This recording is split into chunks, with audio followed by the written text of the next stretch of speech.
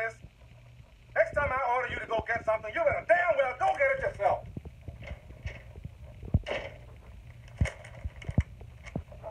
Oh, my God. All right, give me your attention up here, everyone. Settle down. First three rows, take four steps forward. Right now, come on. One, two, three, four. Okay. That's good. Turn around. Hold it, Mr. O'Malley. What's your excuse? Oh, I, I had this big stack of forms I was filling out. I, I looked up. I didn't know what time it was. Mr. Clark, what can you do? This is a prime example of the kind of inefficiency and apathy that is destroying this school, people.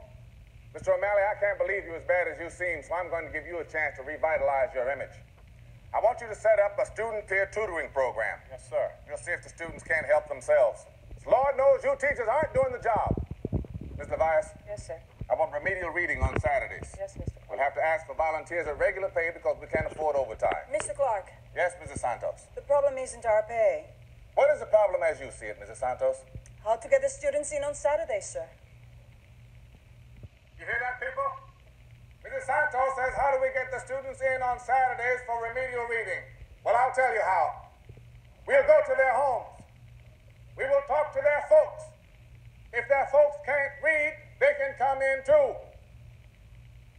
The only way we're going to get anything done is to get everyone involved. And that goes for all of you. It's time to get involved.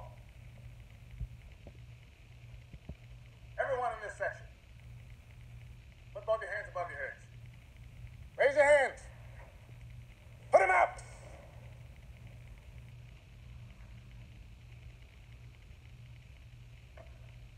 You the 70% of our students who just failed the practice exam. 70%. But that is not their failure. I don't blame them. The failure is yours. That's right, yours. How many hours do you spend preparing your lesson plans? How often do you stay after school to give those children, the ones you know need it, the extra help that they require? Keep your hands up. Now you are getting a hint of the kind of hopelessness and shame that makes those failing students throw up their hands at the thought of facing a world for which you have not prepared them. You are getting the merest inkling of the despair they feel when left to the mercy of the streets. Keep your hands up high. Around at yourselves. Turn and look at yourselves.